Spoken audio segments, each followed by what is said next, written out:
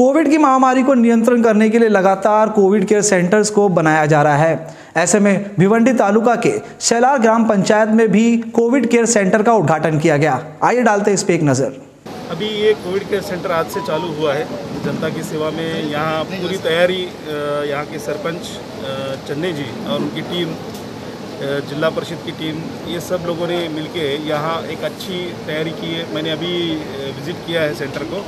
मैंने देखा कि यहाँ काफ़ी मात्रा में दवाई वगैरह है।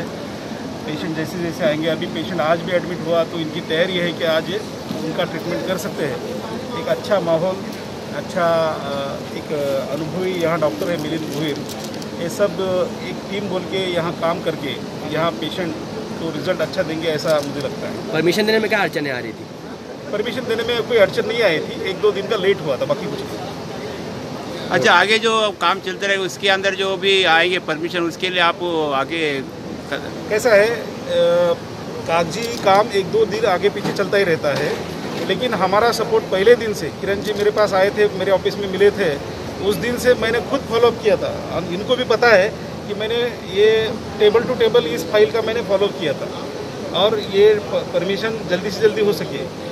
ये देखो कैसे है गवर्नमेंट के काम रहते हैं। अभी हमारे पास ऑक्सीजन का बहुत टेंशन था। रेमडेसिविर का टेंशन था, वहाँ का अलॉटमेंट चल रहा था।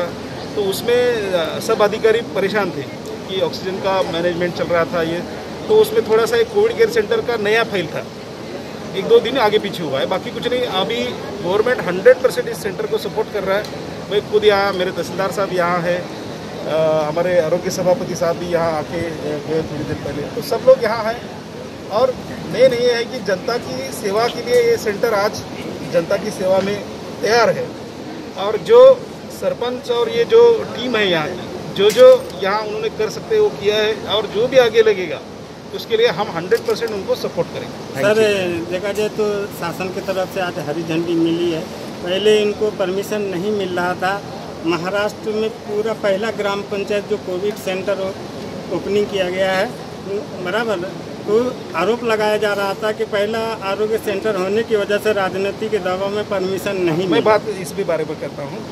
ये देखो कैसा है कोविड सेंटर यदि परवानगी देना एक एक छोटा सा काम साइन करना लेकिन इसमें एक जवाबदारी भी रहती है। एक कोविड सेंटर बनना बोले तो यहाँ का पेशेंट एडमिशन कैसा रहेगा यहाँ कौन डॉक्टर रहेगा यहाँ क्या दवाई देंगे यहाँ फायर का अरेंजमेंट है क्या यहाँ का एनवायरनमेंट ठीक है क्या यहाँ बेड वगैरह है क्या? यहाँ जो भी पेशेंट का कॉम्प्लिकेशन होगा आगे जाके, समझो एडमिट किया, बाद में उसका प्रकृति खराब हो गया, उसके लिए कोई सुविधा है क्या? ये सब शासन देखता है।